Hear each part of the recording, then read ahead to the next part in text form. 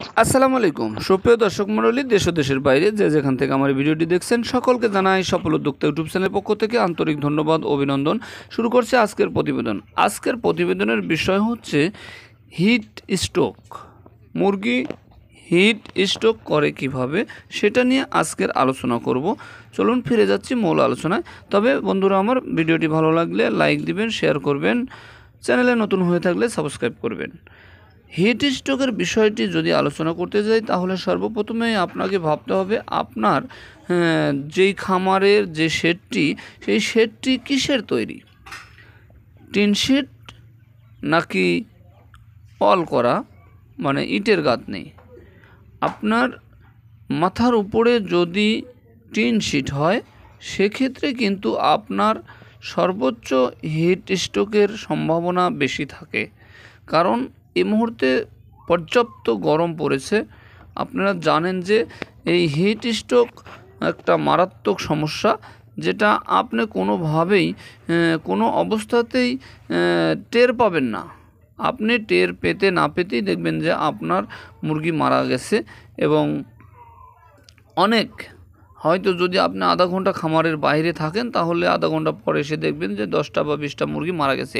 তো বন্ধুরা, এই হিট স্ট্রোক থেকে বাঁচার উপায় একটাই, সেটা হচ্ছে আপনার ছাউনিটা যদি টিন শিটের হয়, তাহলে আপনাকে কিন্তু অবশ্যই তীব্র গরমে এই টিন শিটের উপরে আপনি পানি স্প্রে করে দিতে পারেন বা যেই চট বা সালা আছে, চট ভিজিয়ে সেই চটগুলো আপনি আপনার চালের উপর দিতে পারেন।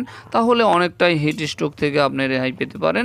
দ্বিতীয়ত হচ্ছে আপনার যেই খামারের চতুর্দিকে যে বেষ্টনীটা আছে, অবশ্যই ঝড়ের দিন বেষ্টনীটা শক্ত থাকতে হবে। কিন্তু যখন আপনার ঝড় বৃষ্টি নেই, তখন কিন্তু অবশ্যই আপনার এই যেই চতুর্দিকের বেষ্টনীটা এই বেষ্টনীটা কিন্তু উঠায় রাখতে হবে।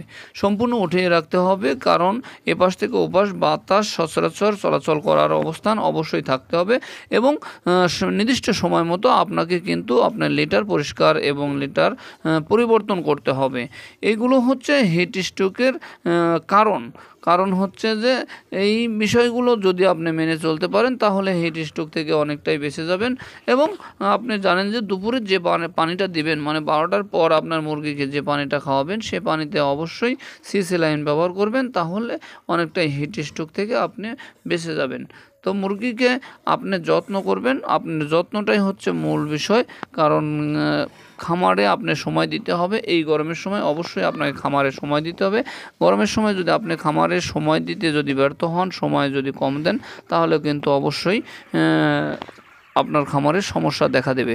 তো দর্শক মণ্ডলী, বিশেষ করে আপনি বাইশ থেকে আঠাশ দিন, বাইশ থেকে আঠাশ দিন বা তিরিশ দিনের মধ্যে কিন্তু এই হিট স্ট্রোকটা সবচেয়ে বেশি হয়ে থাকে।